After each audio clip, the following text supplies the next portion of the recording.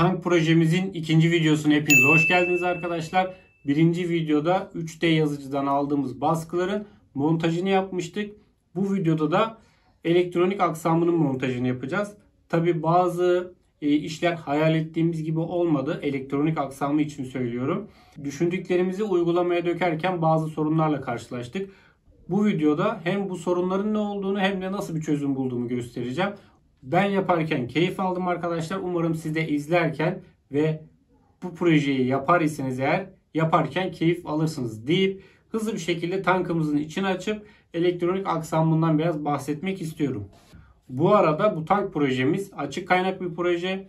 Yani bu tankımızın hem STL dosyasını hem devre şemasını hem de kaynak kodlarını videonun altındaki açıklamalar kısmında sizlerle paylaşıyor olacağım. Çizim esnasında işte bazı şeyleri öngöremediğimiz için buraları sonradan hem mıknatıs yerleri hem buraya sonradan yuva bu şekilde açmak zorunda kaldım. Çirkin bir görüntü oldu ama bu ilk denemem. İlk denemelerde böyle hatalar gayet normal arkadaşlar. Bu üst gövdeyi sökmek için öncelikle buradan tornavidamızı aşağı doğru daldırıp servo motorun üzerindeki vidayı söküyoruz.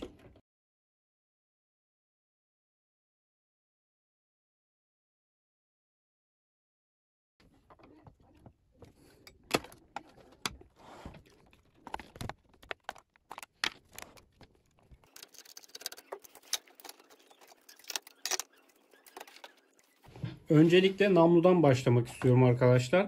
Namlunun altındaki bu beyaz kısım şurası buraya kadar uzuyordu. Bayağı bir uzun tutmuşum ben çizerken. Servo motoru da buraya koyunca bu namlu bayağı yüksek attı. Bu yüzden bu kısmı kestim.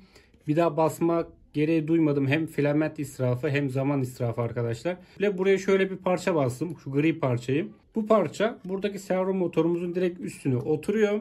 Bu yukarıdan da servo motorumuza vidalıyoruz. Bu şekilde sağa sola hareket etmesini sağladım. Şu parçayla işi kurtardık.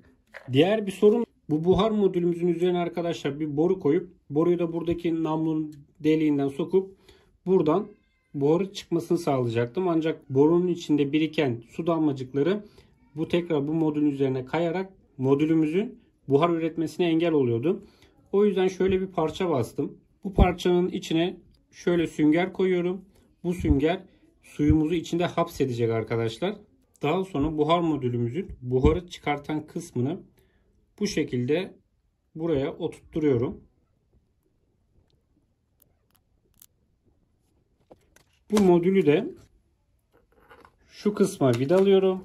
Bu şekilde buradan çıkacak buhar direkt olarak namlu deliğin içinden geçerek uç kısmından çıkacak arkadaşlar.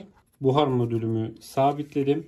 Buradan da buhar modülümün e, su takviyesini yapıyorum. Bir diğer konu ise namludan alev efektinin verilmesi. Normalde ben gerçek bir alev üzerine çalışıyordum. Ancak yaptığım sistemi bunun içine sığdıramadım arkadaşlar. Hem bunun içine sığmadı hem de alıcımızın e, kanal sayısı yetersiz kaldı. Bu sebeple ondan vazgeçtim. Bu namlu içine bildiğimiz RGB şerit led koydum arkadaşlar. Şu şekilde bir şerit led koydum. Bu şeritleri şöyle kesme yerlerinden kesip bunun içine yuvarlak bir şekilde yerleştirdim. Artı ve eksi hattını da şu kablo oluyor arkadaşlar. Artı ve eksi hattında namlu içinden geçirerek dışarıya çıkardım. Bu arada buradaki karmaşıklığın farkındayım. Merak etmeyin. Devre şemasını da anlatacağım birazdan. Orada daha iyi anlayacaksınız ve aslında bu kadar karmaşık değil. İç kısımda birkaç husustan bahsedip arkadaşlar karşılaştığım sorunlardan bir tanesi ve bence en önemlisi şu motorlar ilk taktığım motorlar 912 RPM yani yüksek devirli motorlardı ama torku düşüktü. Bu sebeple bu motorların gücü e, tankımızın paletlerini hareket ettirmeye yetmedi. Torku 3 kat arttırarak hızı 3 kat düşürdüm. Bunda nasıl yaptım? 912 RPM yerine yaklaşık 319 RPM'lik bir DC motor aldım arkadaşlar. Bu şekilde tankım daha stabil çalıştı. Ayrıca ben tankı dağa taşa süreceğim, e, yokuş bayır çıkacağım diyorsanız 100 RPM'lik bir motor takarsanız daha da güçlü bir şekilde paletleriniz dönecektir. Tankımızın bütün enerjisini buradaki 12 volt sağlıyor arkadaşlar. 12 voltluk bir pil grubu var. Buradaki servo motor yerine ben önceden küçük minik bir servo motor kullanmıştım. Ancak namluyu sağa sola çevirmeyi ilk denediğim an o servo motorun dişleri kırıldı, bozuldu. O yüzden buraya güçlü torklu bir servo motor kullanmanızı tavsiye ediyorum. Buradaki alıcımız 9 kanallı bir alıcı arkadaşlar. Bu projede 9 kanalın 9'unu da kullanıyoruz. Hatta kanal sayısı yetersiz olduğu için hem arka hem de ön ışıklarımı aynı anda aç kapı yapıyorum. Yalnız şöyle bir durum var. Buradaki alıcımızın kanal sayısını arttırabiliriz. Şu an tam ismini hatırlamıyorum ama ekrana koyarım arkadaşlar. Hem devrenin resmini hem de ismini. O devremizi sadece iki hat kullanarak yani SDA ve SCL IKRC hatlarını kullanarak alıcımıza bağladığımız takdirde alıcımızın kanal sayısını onlara hatta yüzlere çıkarabiliriz. Hatta elde ettiğiniz kanallar hem dijital olarak kontrol edebilirsiniz hem de PVM destekli kanallar arkadaşlar. Hızlı bir şekilde tankımı toplayıp devre şeması üzerinden anlatımımı yapacağım. Daha sonra da biraz bu canavarın e, zevkini çıkaracağız arkadaşlar.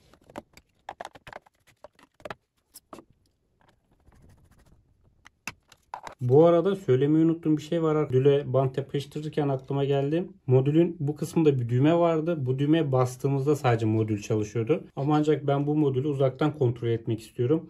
Bu sebeple buradaki düğmeyi çıkardım. Düğmenin bacaklarına bir tane jumper attım. Kısa devre yapacak şekilde. Ve bu şekilde yani sanki düğmeyi sürekli basıyormuşuz gibi bir hissiyat kattım. Bu şekilde modülümüzü e, kablosuz olarak uzaktan kontrol edebileceğiz.